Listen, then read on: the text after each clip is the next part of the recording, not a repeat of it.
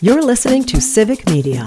You can tune into any of our live shows on any radio station across the state with the Civic Media app. Find us in your phone's app store and listen anytime, anywhere. This is your WXCO Daily News Roundup for Bull Falls Radio, 98.9 FM and 1230 AM in Wausau.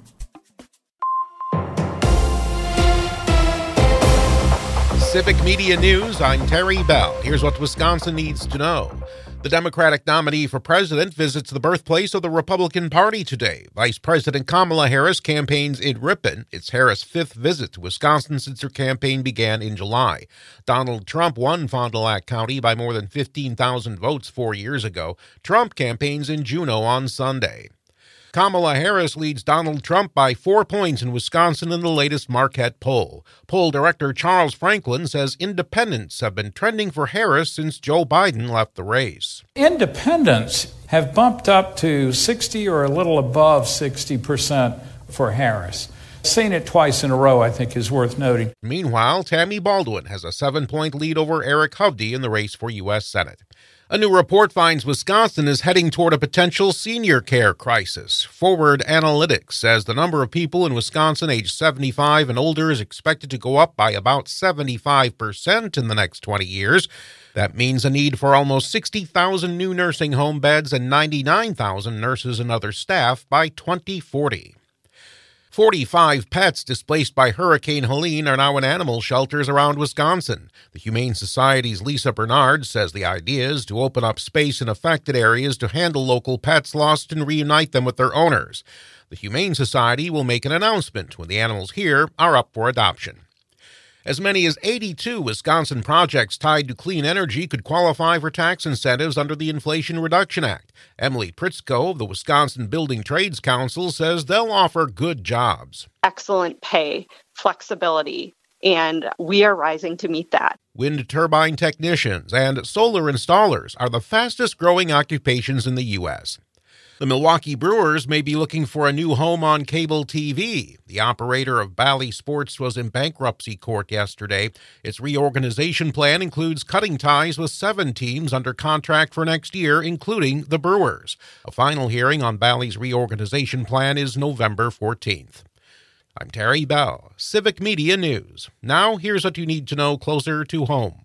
For WXCO News, I'm Brittany Merlot. Voters in Wausau are now planning to file a complaint with the Department of Justice after Wausau Mayor Doug Diny removed the ballot drop box outside of City Hall. Some residents say the mayor's actions were unwarranted and are requesting an investigation into the incident. According to the complaint sent to U.S. Attorney Timothy O'Shea, Mayor Diny did not have authority to remove the drop box. The complaint says, quote, We believe that Mr. Diny may have broken federal law by using his official position to interfere with citizens' right to vote and the city of Wausau announces the closure of Brick's Soft Serve at River Life Park, as the vendor has chosen not to renew their lease. The shop already closed for the season and they've completely moved out of the space. The city says they appreciate the years of service and the joy that Brick's brought to park visitors. The city also says to ensure the continued vibrancy of River Life Park, they will initiate a bid process to find a new vendor to take over the shop space.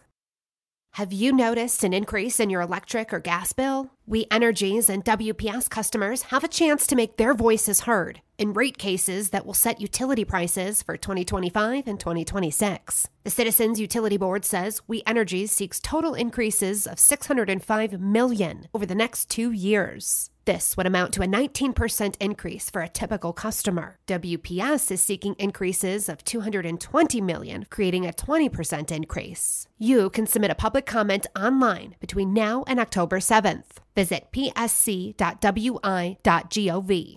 And Ellis Construction broke ground on the new Weinbrenner Shoe Company facility in Marshfield this week. They expect to bring 35 new jobs to the organization, expanding their current workforce of 120 employees. The brand new state of the art facility is expected to open in late 2025. Breast cancer is becoming an increasingly common diagnosis in women under the age of 40, and younger women have denser breast tissue. Cecilia Stroda is an MD and breast surgeon at Aspirus uh, mammogram may not be enough, especially if they have other risk factors. And so, what we add to that is uh, screening MRI. And with a screening MRI, we can find very small uh, tumors also in women who have dense breasts that would have otherwise gone unrecognized. However, unless deemed medically necessary, screening MRIs are not covered by all insurance in the U.S. Lifestyle choices can reduce your chances of developing cancer. The Mediterranean diet is kind of the recommended diet at this point. Uh, more physical activity and exercise is better, but even a little bit goes a long way. Also, zero alcohol intake.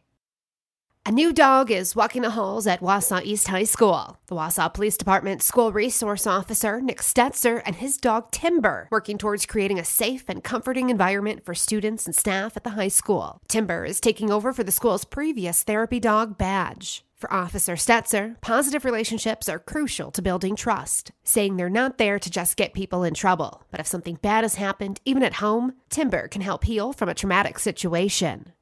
And Wisconsin and fall go hand in hand with you pick events at local farms. And agrotourism is massive here in the Badger State. At Feltz's Dairy Store in Plover, they say while it may be a lot of work this time of year, they have a great team around them. Now open for weekend wagon rides for people to go out and pick pumpkins. They also say they're getting ready for their haunted corn maze and are going bigger and better this year with more than 60 workers helping out. And that's what you need to know. I'm Brittany Merlot for WXCO.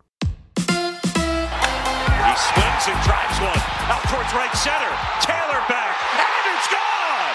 Mitchell, a two-run homer, and the Brewers have the lead. It's five-three. That's what it sounded like on ESPN Radio as the Brewers beat the Mets 5 3 last night. Hi, I'm Jimmy Kuska with Sports, filling in for Mike Clemens. Today will be Game 3 of the Wild Card Series between the Brewers and the Mets. Jackson Chourio hit two home runs, and Garrett Mitchell hit a go-ahead two-run blast to move the Brewers in front in the win. Mitchell said he was excited for the opportunity to come up big. Obviously, there's a lot of pressure there, but like at the same time, it's just enjoying the game and having fun. It's a kid's game, you know. Play it like I said, like those are the types of things you look at, like when you're in the backyard. It was awesome, exciting. Still trying to come down from it, but just most importantly, excited to have, play another game, of, another day of baseball, and come back out here tomorrow and do it again. Manager Pat Murphy said Chourio had a great night. Yeah, that's pretty special. Yeah, pretty special. A lot of guys contributed tonight. It was, you know, again, you, you, you saw what our team's about, what they've been about all year. They didn't quit. They kept every pitch yeah, a lot of guys contributions, but Chourio. Oof. Willy Adames was impressed by Chourio's performance. I mean, insane, insane. I mean, he's. I feel like he's done some. You know, he, he hit some clutch hits, you know, throughout the year. But I know for him that felt amazing, and for the team felt unbelievable.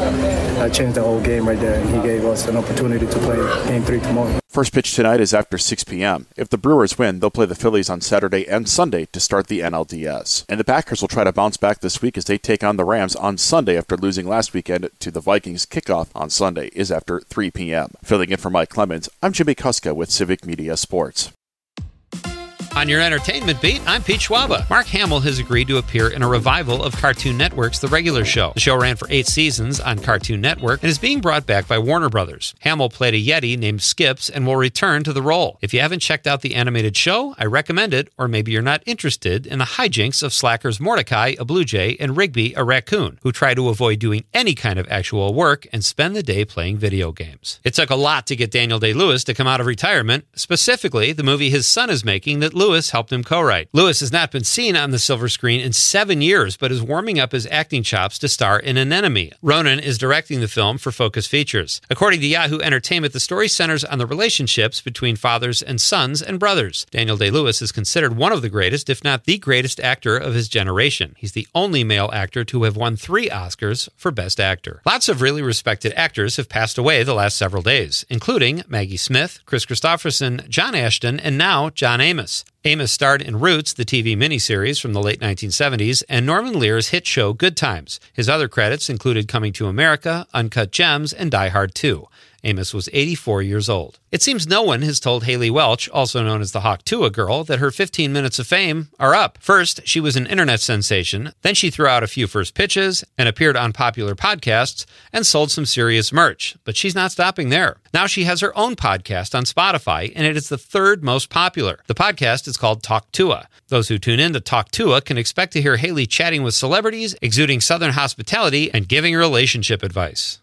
I thought Hawk was relationship advice. The show Reacher has never been devoid of girl power, but a new spin off will take it to the next level. Prime Video is developing a new series. It will star Maria Sten, who plays Frances Neagley, opposite Reacher. In a recent interview, Sten said the show will still be very Reacher, with snappy dialogue and lots of action, but it will be its own show. Reacher, based on the books by Lee Child, is one of Amazon's most popular shows domestically and worldwide. A release date has not been set. Democratic nominee Kamala Harris and former President Donald Trump will not be invited onto Saturday Night Live before the November 5th presidential election. SNL creator Lorne Michaels told The Hollywood Reporter that due to equal time provisions, it gets too complicated, and he would have to invite every candidate on, even minor candidates who are only on the ballot in two or three states. I guess for the time being, we are stuck with impersonators James Austin Johnson as Trump and Maya Rudolph playing Harris. My personal favorite, Jim Gaffigan as Tim Walz. For more showbiz fun, tune in to Nightlight with me, Pete Schwaba, weeknights from 6 to 8 p.m. on the Civic Media Radio Network.